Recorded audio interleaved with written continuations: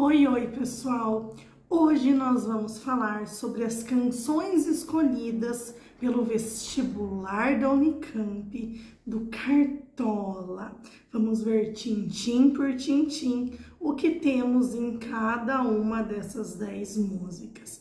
Já peço para que, se você for comprar qualquer produto pela Amazon, que compre pelo meu link que está aqui no box de descrição pois assim você ajuda o canal sem pagar nada mais por isso. Gente, então o que, que aconteceu neste ano? A Unicamp selecionou 10 músicas do Cartola para fazer parte do seu vestibular, da sua lista de obras de leitura obrigatória. Como vocês provavelmente não estudaram nada sobre o Cartola, vou falar sobre ele inicialmente, lembrando que a gente sempre precisa tomar o cuidado para diferenciar autor de eu lírico, autor de voz que fala na letra da música. Nunca podemos dizer que quem está falando ali com a gente dentro da música é o próprio compositor, é o próprio Cartola. Localizando temporalmente uh, esse nosso compositor, Cartola viveu no século XX, ele já morreu, ele nasceu em 1908 e morreu em 1980, é compositor, cantor e seu nome oficial era Angenor de Oliveira. Mas como ele chegou a trabalhar um tempo na construção civil e usava um chapéu coco, ele acabou recebendo ali o apelido de Cartola. Desde criança, ele nasceu no Rio de Janeiro, então desde criança ele teve muito contato com festas populares. Aos 11 anos, sua família teve problemas financeiros e ele acabou indo morar no Morro na Mangueira, no Morro da Mangueira, na favela. Lá, logicamente, ele vai frequentar rodas de samba e já sabia tocar cavaquinho e violão. Com 15 anos ele ficou órfão, ele perdeu a mãe e aí seguiu sua vida. Ou seja, teve que aprender a se virar sozinho. Teve inúmeras atividades, dentre elas a que mais nos chama atenção é que ele criou o bloco dos arengueiros. E esse bloco dos arengueiros se tornaria a escola de samba Estação Primeira da Mangueira, famosíssima, todo mundo deve conhecer. Então, o Cartola foi um dos fundadores da Mangueira, Escola de Samba do Rio de Janeiro. O Cartola tem uma relação íntima com o samba, como vocês já perceberam aí pela própria fundação da Mangueira. A gente vai ver que as músicas que a Unicamp selecionou são sambas, mas demorou muito para conseguir gravar seu primeiro álbum. Foi apenas aos 65 anos.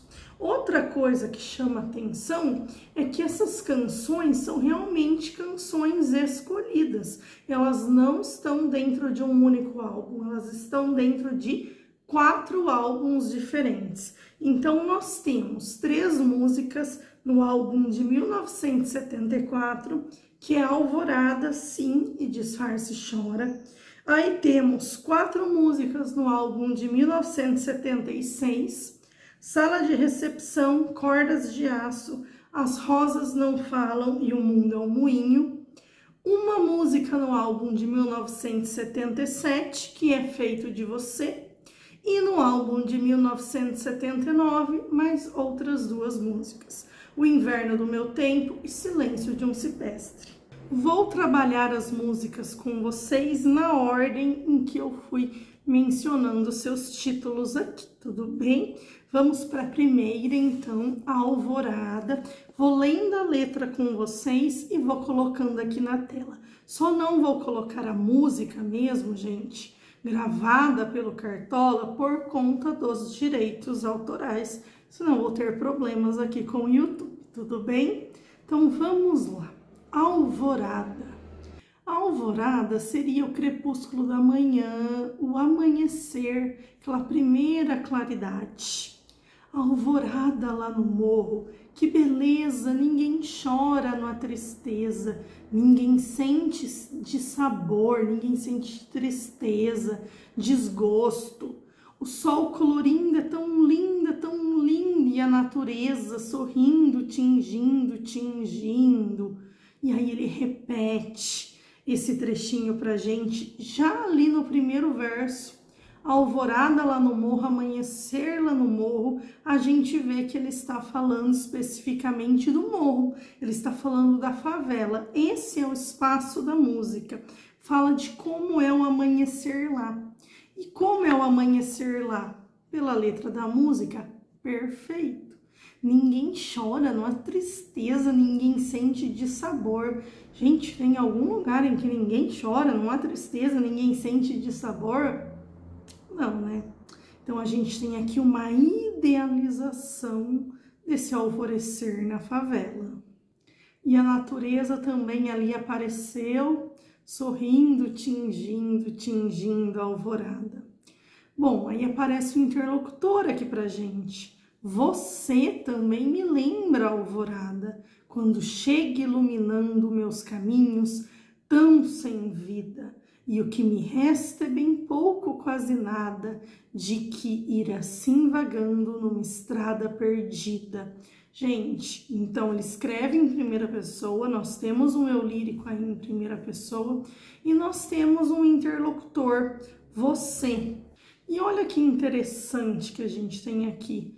A alvorada lá no morro era maravilhosa, mas a vida do eu lírico não, porque olha o que ele diz. Meus caminhos estão sem vida, e o que me resta é bem pouco, quase nada, de que ir assim vagando numa estrada perdida.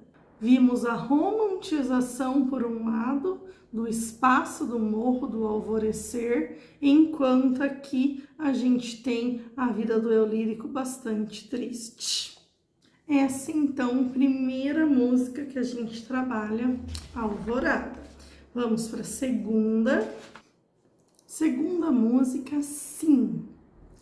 Sim, deve haver o perdão para mim, senão nem sei qual será o meu fim. Para ter uma companheira, até promessas fiz. Consegui um grande amor, mas eu não fui feliz. E com raiva para os céus, os braços levantei, blasfemei. Hoje todos são contra mim. Analisando esse início, já vemos um eu lírico em primeira pessoa, né? Olha a marcação ali no verbo saber. Nem sei qual será o meu fim, também no pronome possessivo meu. A gente já tá percebendo um certo lirismo amoroso ali. E ele começa dizendo pra gente que ele imagina que deve sim haver uh, o perdão para ele senão ele não sabe qual é o fim dele. Ocorreu aqui, ao que tudo indica pela letra, uma desilusão amorosa, até promessas fiz, consegui um grande amor, mas eu não fui feliz. Então fica evidente que é, ele não foi feliz no amor, que ele está se sentindo sozinho. Aí, lendo mais um pouco aqui com vocês, olha o que ele diz. Todos erram neste mundo, não há exceção quando voltam à realidade, conseguem perdão. Porque é que eu, Senhor, que errei pela primeira vez, passo tantos dissabores e luto contra a humanidade inteira. Então, bom, ele faz um comentário, né? Todos erram nesse mundo. Várias vezes. Não há exceção. E conseguem o perdão. Então, por que eu, porque eu, eu lírico, que errei pela primeira vez, passo por tantas tristezas? porque eu tenho que lutar contra a humanidade inteira. Todo mundo erra, fica tudo bem. Quando eu erro, a punição é maior. Há um poema de Camões que ele fala sobre o desconcerto do mundo, que ele mostra mais ou menos isso aqui. É, quem, quem os bons se dão mal, os maus se dão bem. Então ele decidiu ser mal para se dar bem. O que aconteceu com ele se deu mal. Só para ele estava o mundo ordenado. Há um poema de Camões que mostra uma ideia semelhante a essa que o Cartola está explorando nesse poema. E a gente vê também a utilização da palavra Senhor, aqui referência então ao cristianismo, à religiosidade. Vocês estão notando que as músicas elas são bem curtinhas, muitas partes que se repetem. Estou colocando aqui para vocês sem a repetição dessas partes, para a gente ir analisando alguns trechos, ok? Vamos agora para a terceira música, Disfarce Chora. Chora, disfarce, chora, aproveita a voz do lamento que já vem a aurora. A pessoa que tanto queria antes mesmo de raiar o dia, deixou o ensaio por outra. Ó oh, triste senhora, disfarce chora, todo pranto tem hora, e eu vejo seu pranto cair no momento mais certo. Olhar, gostar só de longe, não faz ninguém chegar perto, e o seu pranto, ó triste senhora, vai molhar o deserto. Olha que hipérbole que a gente tem aí, que exagero, né? O seu pranto, o seu choro vai molhar o deserto. Meu Deus, para molhar o deserto precisaria de muito choro, não é mesmo? Bom, mas vamos analisar o que temos aqui já no início. Ele começa com alguns verbos do imperativo, né? Chora, disfarce, chora, aproveita a voz do lamento está falando com alguém, daqui a pouco fica claro, eu li aqui em primeira pessoa novamente, está falando com quem? Com a triste senhora. Esse vocativo vai se repetir várias vezes aqui na música. Então, olha, para, para de sofrer por alguém que não tá nem aí para você, tá aconselhando essa mulher. Chora, disfarce, chora. Seja discreta não dê escândalos. A pessoa que você queria, antes mesmo do dia amanhecer, já deixou o ensaio por outra. O que está acontecendo aqui? A gente é o que tudo indica. Depois lá embaixo ele vai dizer deixou a escola por outra.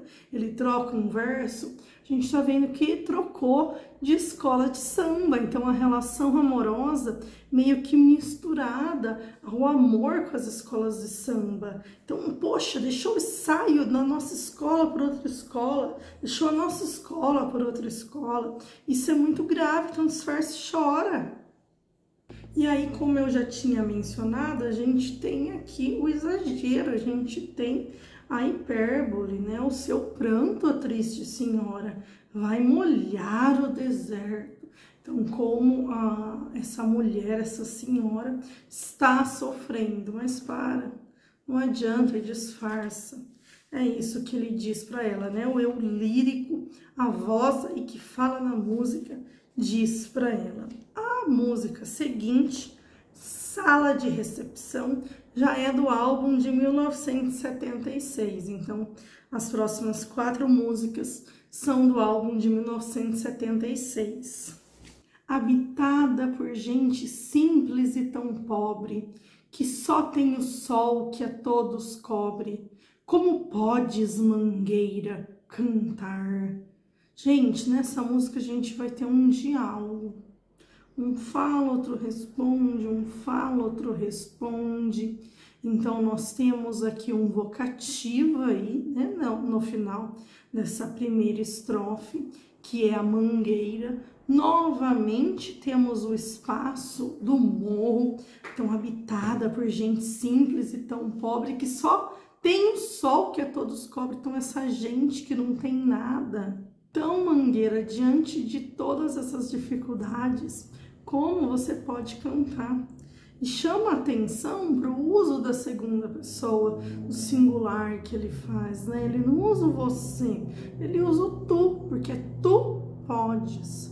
E isso vai ser uma constante nas, nas canções do Cartola. O uso desse tu, esses verbos conjugados na segunda pessoa do singular. Resposta, como eu disse para vocês, é um diálogo Vem logo a seguir, se vocês ouvirem a música, vão ver até a mudança de vozes ali de quem está cantando. Pois então saiba que não desejamos mais nada. À noite, a lua prateada, silenciosa, ouve as nossas canções. Olha uma personificação da lua aqui, uma prosopopeia. A lua está ouvindo as canções. Então a resposta vem, né? Nós não desejamos mais nada e é por isso que a gente canta. E chama atenção para a resposta usando a primeira pessoa do plural, porque fala ouve as nossas canções e não as minhas canções. Há uma opção pela primeira do plural, e isso pode indicar coletividade. Continuando com a música, tem lá no alto um cruzeiro onde fazemos nossas orações e temos orgulho de ser os primeiros campeões. Mangueira foi a primeira escola de samba do carnaval carioca. Fica clara a referência aqui também. Eu digo e afirmo que a felicidade é que mora, e as outras escolas até choram, invejando a tua posição. Então a mangueira campeã e todo mundo com inveja dela. Minha mangueira, essa sala de recepção, aqui se abraça inimigo como se fosse irmão. Olha a idealização também aparecendo nessa música, mais uma idealização do morro, mais uma idealização da favela. Então, ali naquele lugar se abraça inimigo como se fosse irmão, se acolhe o diferente. A música seguinte, também do álbum de 1976, Cordas de Aço. Ah, essas cordas de aço, este minúsculo braço do violão que os dedos meus acariciam. Ah, este bojo perfeito que trago junto ao peito, só você, violão, compreende porque perdi toda a alegria. E no entanto, meu pinho, pode crer, eu adivinho, aquela mulher até hoje está nos esperando. Solte o teu som da madeira eu, você e a companheira, na madrugada iremos para casa cantando. Ah, essas cordas de aço, esse minúsculo braço. E continua, né, repetindo os versos. Aqui, já no início, a gente nota a humanização, a personificação do violão. Então, a gente vai acompanhar ali a harmonia perfeita entre o eu lírico e esse instrumento musical. A música seguinte, As Rosas Não Falam, talvez uma das mais famosas aí do Cartola. Vamos ver o que ele nos diz. Bate outra vez com esperanças o meu coração, pois já vai terminando o verão, enfim volto ao jardim, com a certeza que devo chorar pois bem sei que não queres voltar para mim. Queixo minhas rosas, que bobagem as rosas não falam, simplesmente as rosas exalam o perfume que roubam de ti. Ai, devias vir para ver os meus olhos tristonhos, e quem sabe sonhavas meus sonhos. Por fim bate outra vez com esperanças o meu coração, e aí ele vai repetindo mais alguns versos. O eu lírico, em primeira pessoa, aqui vai se dirigir várias vezes à pessoa amada. A gente vê o uso da segunda pessoa do singular, o tu, né? Então, sei bem que não queres. O perfume que roubam de ti. Então a gente vê, né? A, a, então a gente nota claramente as marcas linguísticas que indicam o interlocutor. Então o coração dele bate com esperanças. Tava terminando o verão, ele volta ao jardim sabendo que deve chorar. E aí, o que está acontecendo? Ele está triste. O interlocutor não quer saber dele, ele está com saudade. Diante dessa situação, o que ele faz? Reclama as rosas. Ele vai reclamar com a natureza, ele vai conversar com a natureza. Gente, isso a gente vê lá na cantiga de amigo do trovadorismo, quando a mulher amada ia se queixar com a mãe, com as amigas ou com a natureza, ia se queixar sobre a ausência de seu amado. Aqui o eu lírico está indo falar para as rosas, se queixar com elas sobre a ausência da pessoa amada. E aí o próprio eu lírico diz, né? Isso é uma bobagem que as rosas não falam. As rosas, olha só aqui que idealização. As rosas exalam o perfume que roubam de ti. Então, meu Deus, que interlocutor perfeito, a ponto das rosas roubarem o perfume da pessoa para poderem exalar o cheiro dela. E aí, quando diz, né, devias ver, marca linguística de novo, indicando o interlocutor, para ver os meus olhos tristonhos. Os olhos são as janelas da alma, então os olhos tristonhos mostram a pessoa inteira triste. Quem sabe sonhava os meus sonhos por fim, quem sabe, né? Se você olhasse nos meus olhos, você sonharia os meus sonhos. Mas a gente vê aqui muita saudade da pessoa amada e tristeza. E para terminar esse álbum de 1976, né, a quarta música selecionada dele é O Mundo é um Moinho. O mundo é um moinho.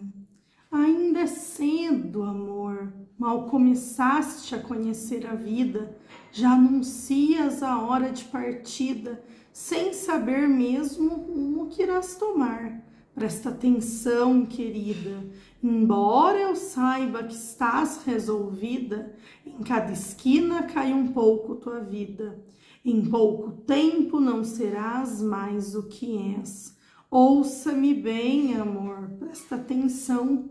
O mundo é um moinho, vai triturar teus sonhos tão mesquinho, vai reduzir as ilusões a pó.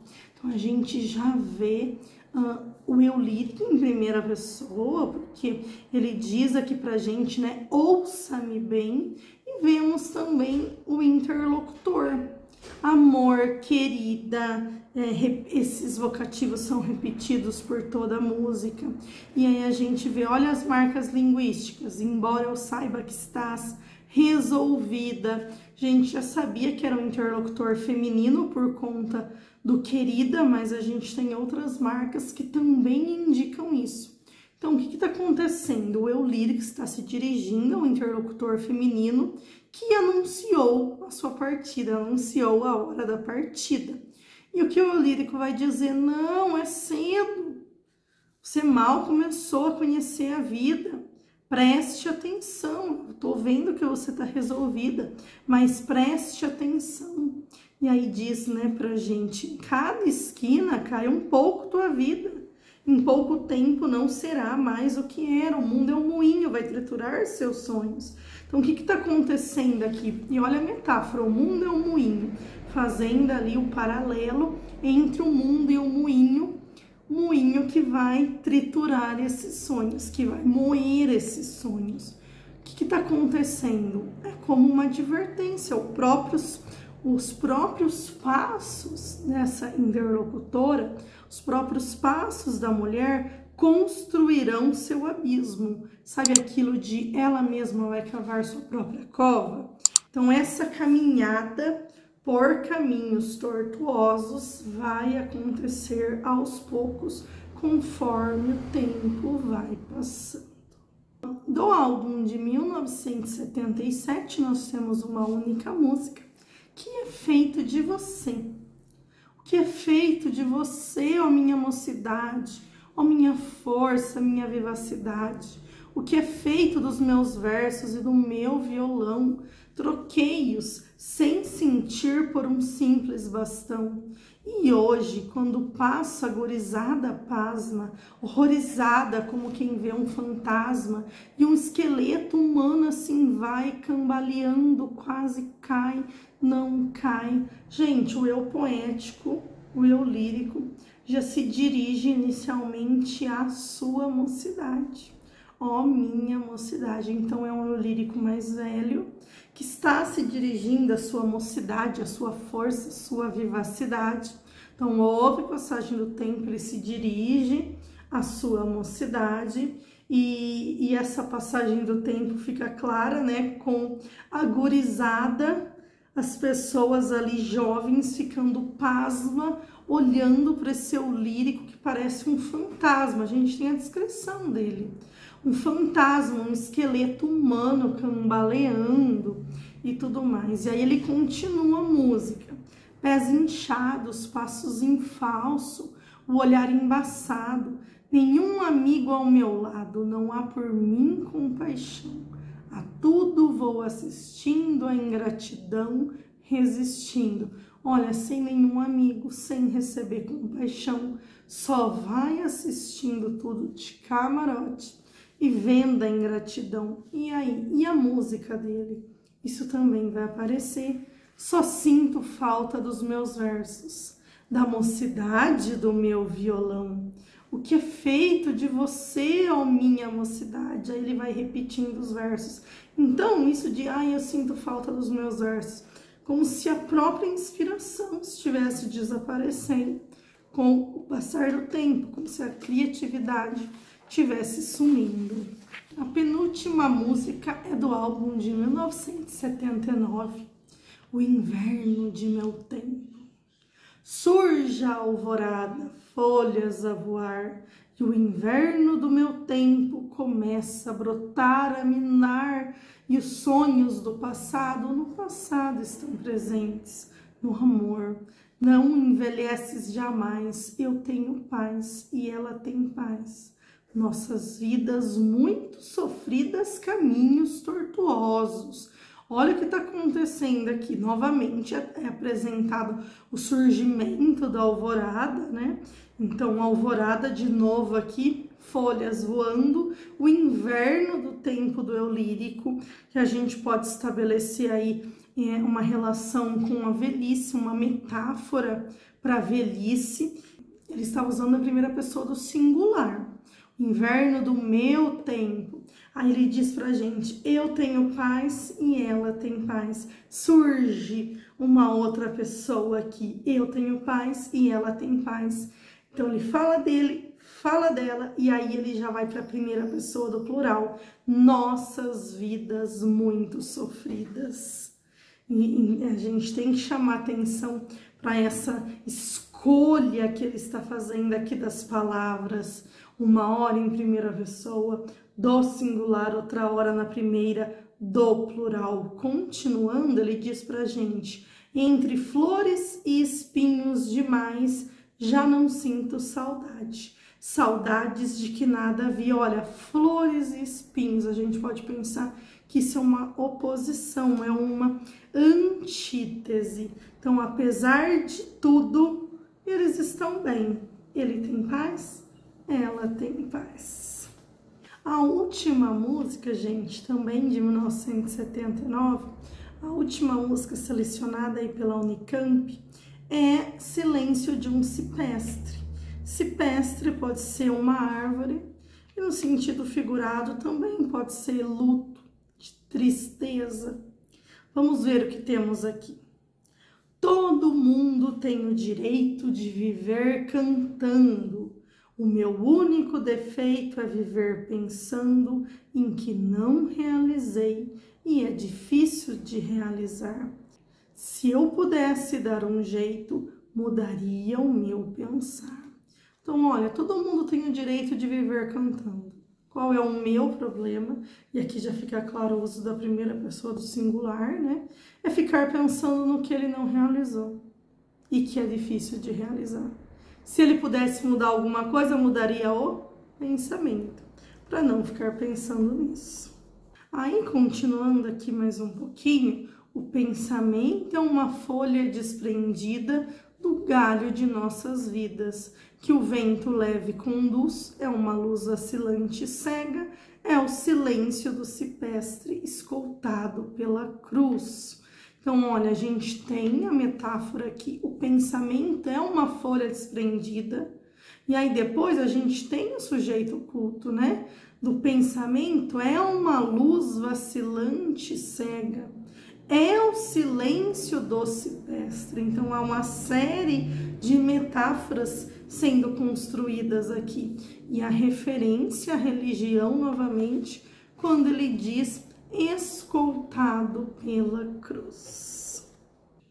Pessoal, essas são as 10 músicas escolhidas pela Unicamp. Espero que vocês tenham gostado da análise. Compartilhem nosso vídeo para ajudar o canal. Curtem, deixem um comentário de vocês e acompanhem todas as análises de todos os livros aqui com a gente. Beijos e até a próxima. Tchau! you